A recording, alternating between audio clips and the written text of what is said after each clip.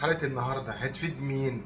هتفيد أي حد بيشتكي من ضعف الأعصاب من تنميل الأطراف من ألم في الفقرات أو ألم في العظام من عدم انتظام ضربات القلب أو عدم انتظام ضغط الدم أو عدم انتظام السكر عنده هتفيد كمان أي حد بيشتكي من إمساك أنا على طول عنده إمساك أو تشنج في العضلات وخصوصا عضلات القدم أو أي حد كمان عنده التعب بأقل مجهود يعني أقل مجهود بيتعبه في حلقة النهاردة يعني هتفيد الأشخاص اللي بيشتكوا من الأعراض اللي أنا قلت عليها من شوية. الحلقة النهارده باختصار شديد يا جماعة أنا بتكلم عن عنصر نقصه بيكون في أكتر من 30% من البشر. أنتوا متخيلين؟ يعني كل ثلاث أشخاص في واحد عنده نقص في عنصر المغنيسيوم. عنصر مهم جدا. بس الأهم بقى من اعراض إيه هو الأكلات اللي بتعوض نقص المغنيسيوم وهو كمان العلاج الدوائي اللي ممكن أشتريه من الصيدلية؟ اللي بيعالج نقص المغنيسيوم. وقبل كل شيء لو عندك الأعراض اللي أنا هقول لك عليها دي أو اللي أنا قلت عليها من شوية لازم تروح لأي معمل تحليل وتعمل تحليل نسبة المغنيسيوم في الدم. وخصوصا لو أنت عندك قلق وتوتر بالليل. كتير جدا مش عارف ينام. يجي ينام كده مش عارف ينام. على طول باله أو فكره شغال. تمام؟ في لخبطة واضطرابات في النوم دي علامة مميزة لنقص المغنيسيوم. كمان في علامه تاني نقص المغنيسيوم يعني هو في علامات كتير لنقص المغنيسيوم. في كمان علامه مميزه قوي هو تشنج عضلات القدم. بتلاقي كده عضلة السمانة من ورا على طول قافشه عليك على طول كده بتوجعك فيها تقلصات شديدة. ليه بقى؟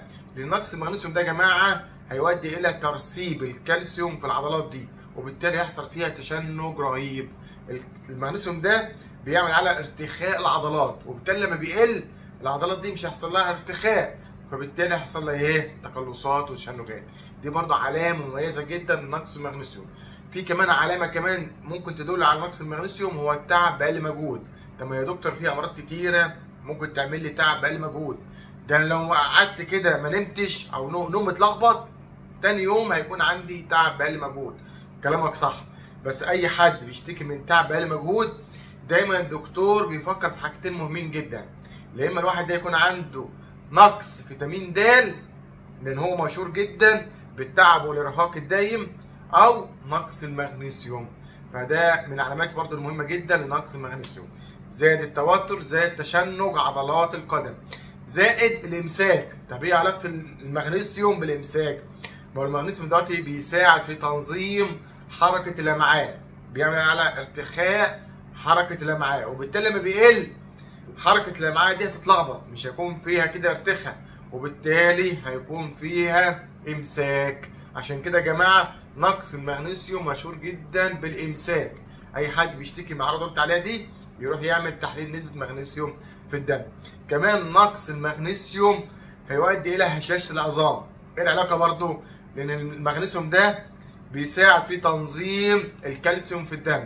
بيساعد في تنظيم الكالسيوم في الدم.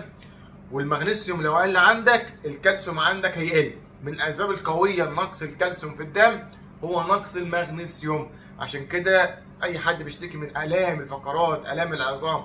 أخدت مسكنات كتير ومش جايبة معاك نتيجة أو بتخف فترة وترجع تاني فكر في نقص المغنيسيوم. تمام؟ كمان في علامة مميزة جدا نقص المغنيسيوم يا جماعة هو تنميل الأطراف تنميل الإيدين والرجلين. ليه بقى؟ لأن هو نقص المغنيسيوم هيؤدي إلى ترسيب الكالسيوم في العضلات دي أو في الأطراف. ترسيب الكالسيوم في الأطراف وبالتالي يؤدي إلى تنميل الأطراف. مع عدم انتظام ضربات القلب عدم انتظام ضغط الدم عدم انتظام السكر في الدم.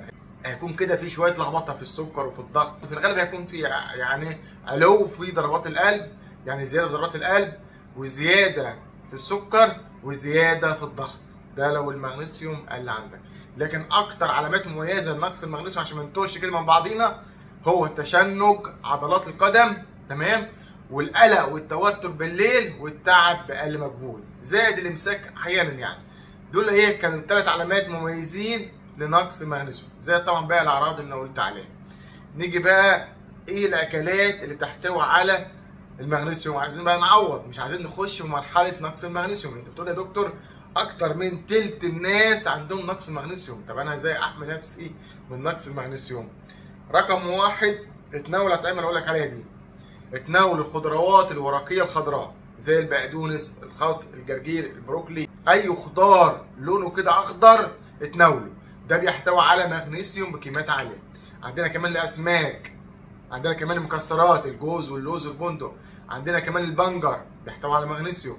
عندنا كمان الموز. وثمره الأفوكادو كلهم دول بيحتوي على مغنيسيوم بكميات محترمة. ولو هتجيب مكمل غذائي يحتوي على مغنيسيوم اشتري مكمل غذائي يحتوي على مغنيسيوم glycinate أو citrate. glycinate أو citrate. دول نوعين من المغنيسيوم هم دول إحنا إيه محتاجينهم. بجرعة من 400 450 مللي جرام كل يوم. دي الجرعة اليومية للبالغين 400 450 مللي جرام كل يوم. ويفضل تتناوله قبل النوم بالليل. ما حدش ياخد لي المغنيسيوم بالنهار. خد المغنيسيوم بالليل لأن هو بيساعد على الاسترخاء وبيخليك كده تنام نوم عميق وبيمنع عنك القلق والتوتر واضطرابات النوم.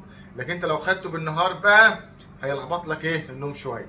خده بالليل عشان ده بيساعد على عملية النوم وبيقلل عندك القلق طيب ده أنسب توقيت لتناول المغنيسيوم.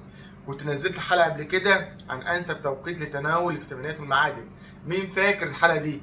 ولو عايزيني أعمل حلقة كاملة عن أنسب ميعاد وتعليمات مهمة جدا للناس اللي هم بيتناولوا فيتامينات ومعادن زي فيتامين د إمتى أتناوله؟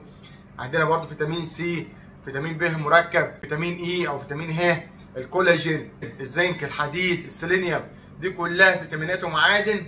كل واحد فيهم ليه وقت أنسب لتناوله.